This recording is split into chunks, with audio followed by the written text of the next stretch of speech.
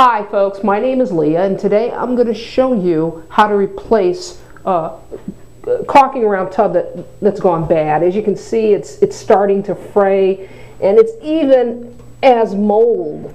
So we want to clean that out of there and put down some fresh um, caulking. So let me show you the tools you're going to need. Uh, you're going to need some compressed air, a razor blade scraper, you don't have to have a, Dremel, but I'll tell you, it's very convenient. And a scraper. Now, this is what we're going to use for the removal of the old caulking. When it comes time to recaulk, then I'll show you the tools you will need for that. Okay, I'm going to use the Dremel first. And again, like I said, you don't have to have one of these tools, but oh my goodness, they're so handy. Uh, the blade is just the scraper blade.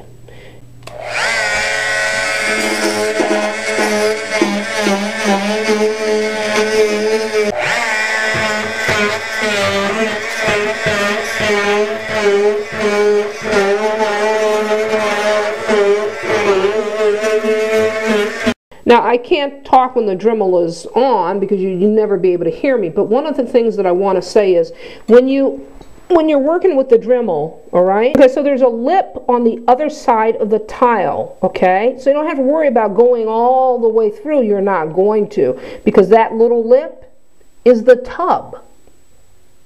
So now I want to demonstrate with uh, just a scraper, uh, it's a lot harder. And you would do the same thing. You run it along the bottom as best you can. So you got to use you got to use some elbow grease. As you can see, it's it's not that easy to go through with just a regular scraper, but but it can be done. So I've successfully cut through most of the caulking. Now it's time to to remove it, okay? And as you can see, some of it has already started to come out on its own, so we may have to tug it. Most of it comes away pretty freely.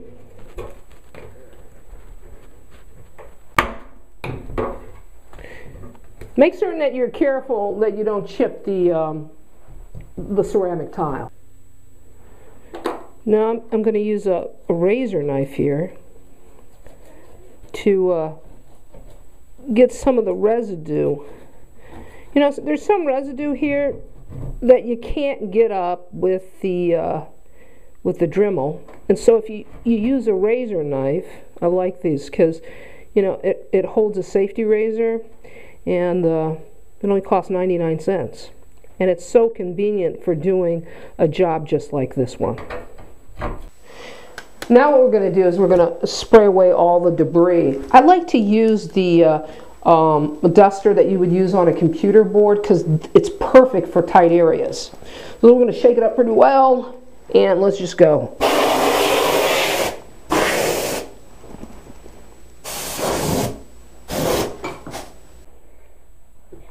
Okay, so now all I'm going to do is just clean all the residue off, just in case there's a little soap scum. I've done a pretty good job of cleaning the tile off and now I'm just going to clean the tub off as well. Help the uh, the new uh, caulk adhere if it's if we've got a clean surface, just like with anything you do. Now the next thing you're going to need is you're going to need blue masking tape or blue painter's tape. This is going to make the caulking job less messy and look more professional. You're going to be amazed when we pull off the tape just how clean it will look. Okay, so we're going to place the tape, oh, just like so.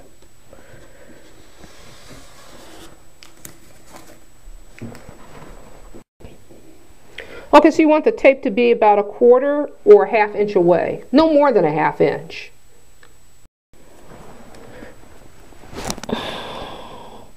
And I'm going to do the same thing for the tile.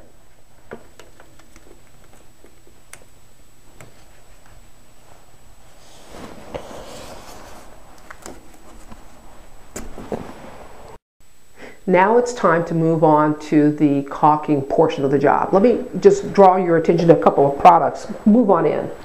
This is a silicone. You want to use silicone, and you want to use a silicone with a um, with mildew protection. both these products have mildew protection.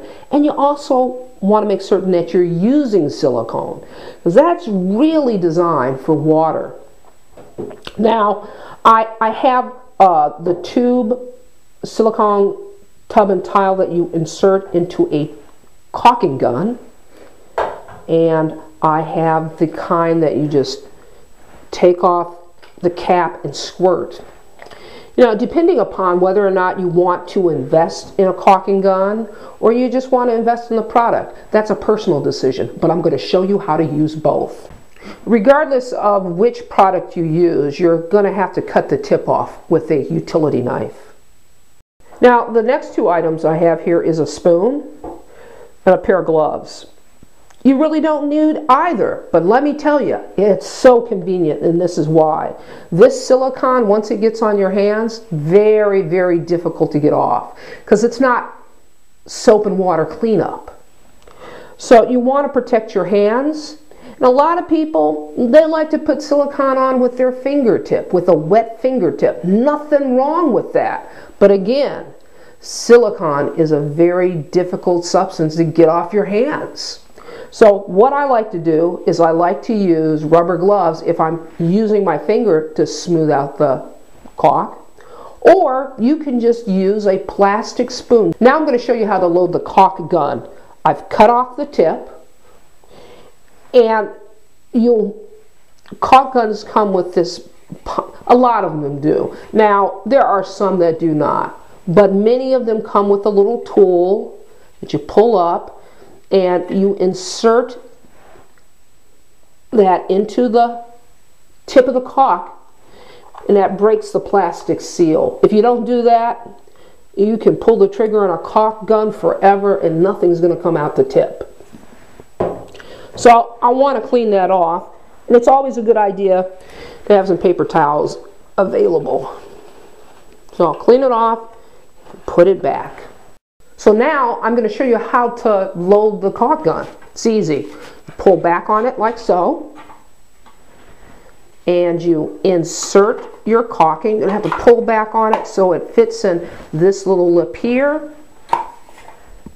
Push it back on the handle.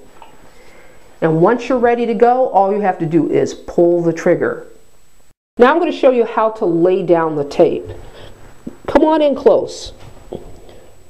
You want to run your finger across the edge of the tape to make certain that it's secure and that no caulking bleeds through because what's going to happen is when you start to pull the tape you don't want you want a nice clean line and this is going to assure that okay so now it's time to demonstrate um, the tube type this is just the caulking that you squirt in so I'm going to do the small section first and show you how it's done what you want to do is you want to lay down a generous bead. And that's what we're going to do here. Just laying down a generous bead.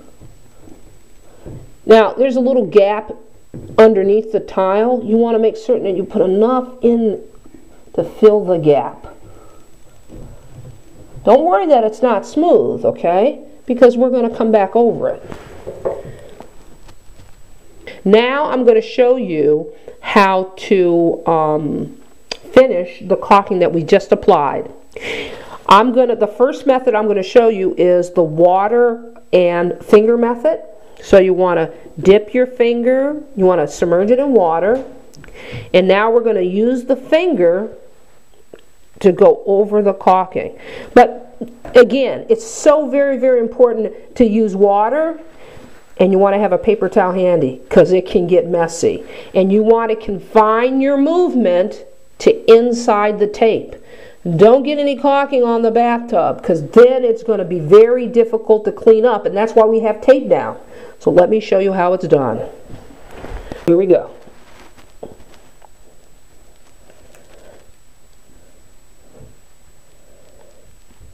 Okay, now we're going to do the uh, spoon method and you want to dip that plastic spoon in water and you want it to be a clean spoon. So here we go.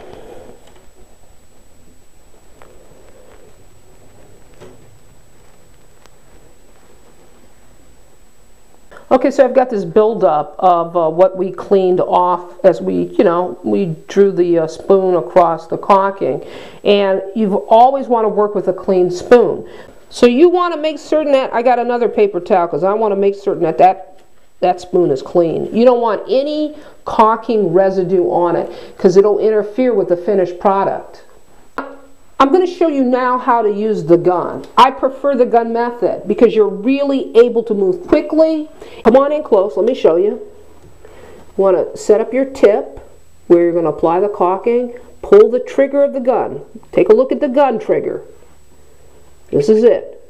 Pull that trigger and just squeeze and go.